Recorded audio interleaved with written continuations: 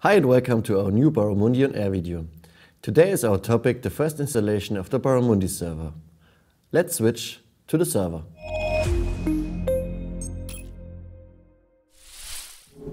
For the baramundi files, you can download it from the forum or you can call or write an email to your sales assistants for a download link. In our case, we download it from the forum and there we can find an ISO.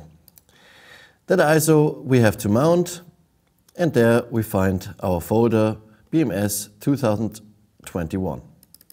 Here we can see the management suite setup, which we have to start. Now the installation of the baramundi management suite begins.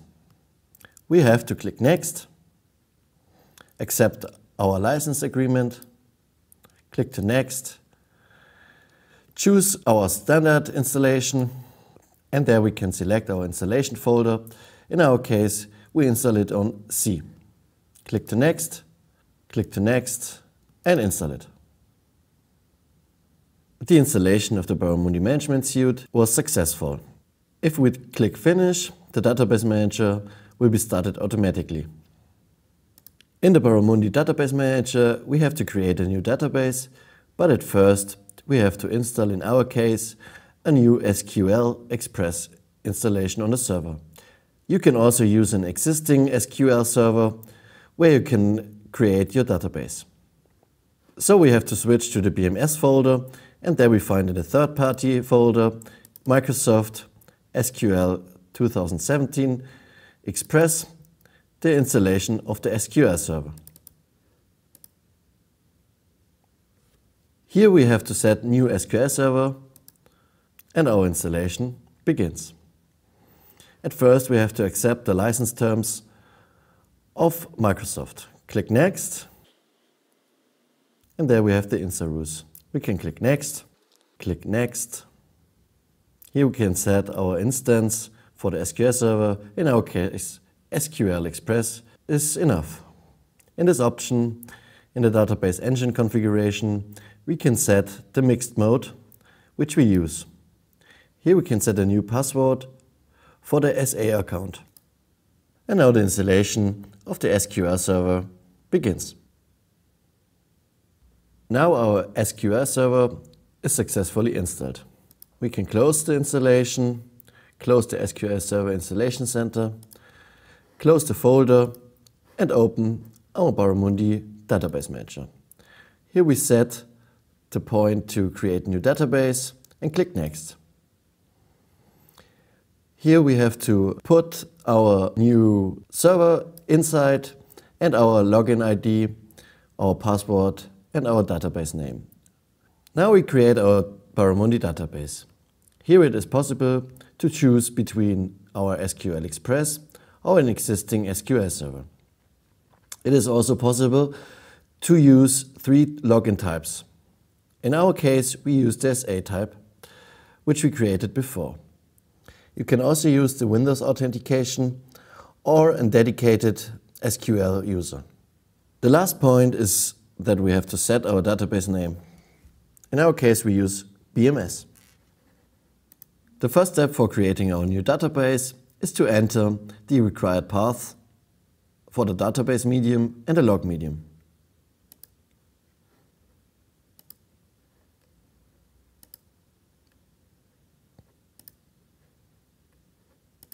The next step is the internet connectivity. In our case, the baramundi server has a direct internet connection. We click Next, and there is the domain configuration. In our case, our domain is called services.local. Click Next, and then the next step is the user configuration. Here we have three types of users. The first one is administrative user, the second one is installation user and the third one is network user. In our hardening guide in the forum you can find an explanation which permissions have to set for the users. Now we have to type in the users. Now we have created our users and click to the next button. Here we can set our unlock password. This password will unlock the keyboard and mouse in the baramundi Management Suite if you have set it in a deploy job. Here you can set the automatic installation and update for the BMA. even though you can activate your management agent tray icon in the taskbar. Here you can configure the application usage tracking and energy data acquisition. We click to Next and there we can configure our download jobs for patch management. You have to configure the start time for the download job to an odd time. In our case, 4 o'clock and 17 minutes. Click to Next and here we have to create our dip structure. In our case, we use a folder d dip and a share dip dollar. Click to next.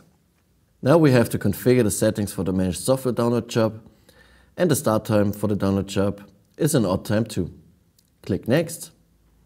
Even though we have to configure the compliance module download job to an odd time. Click next. Now we configure baramundi patch management. This setting, which you see, is recommended. You can choose between download mode, download on demand, immediately on availability and automatic download. In the release mode, you have to choose between manual release and automatic release. Now we have to click to next. Here you can set the network devices download job, where you have to set the starting time for the download job to an odd time.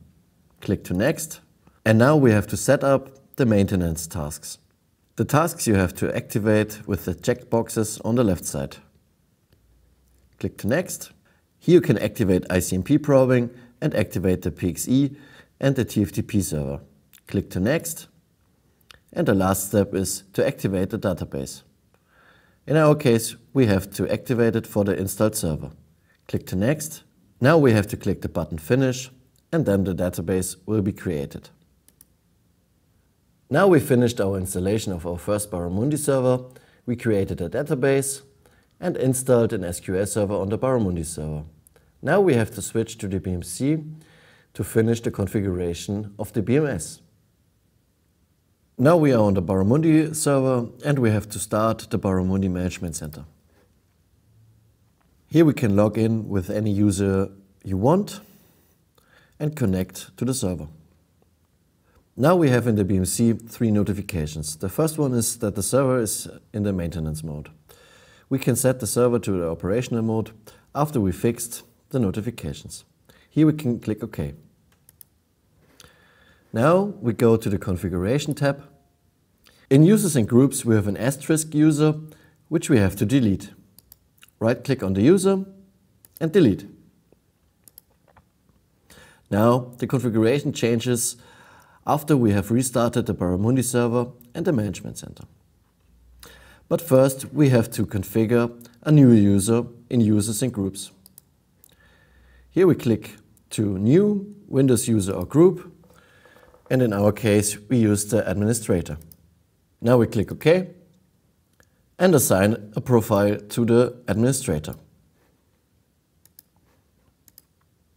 Click Apply, OK, and now we have to restart the baramundi server and the management center.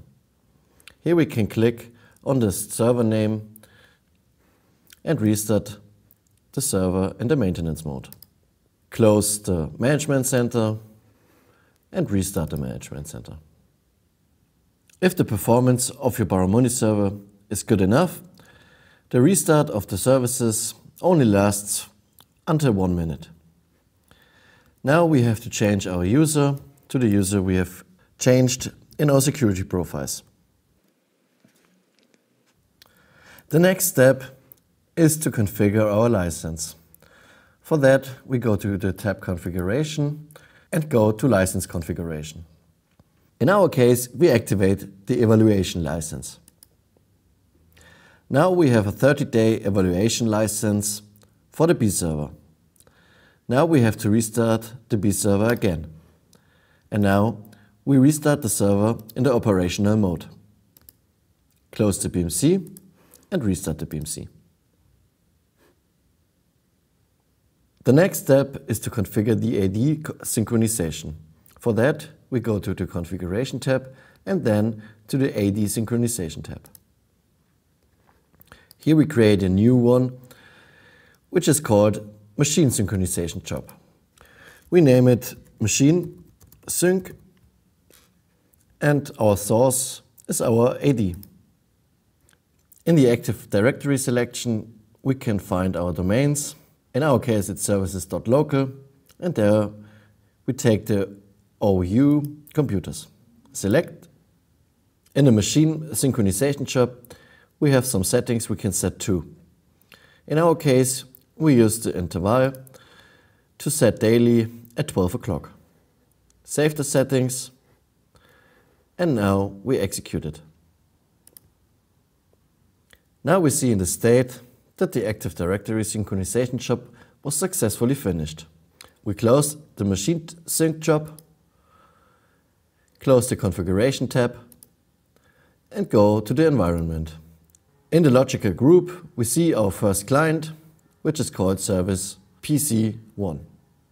We open the client, and there we can install the management agent. On the right below, we can see the baramundi management agent and the last activity that the baramundi management agent is installing right now. Now the basic configuration of the BMS was successful. We installed AD-Sync, BMA, license and security profiles. If you have any question, you can ask us. Thank you for watching and goodbye.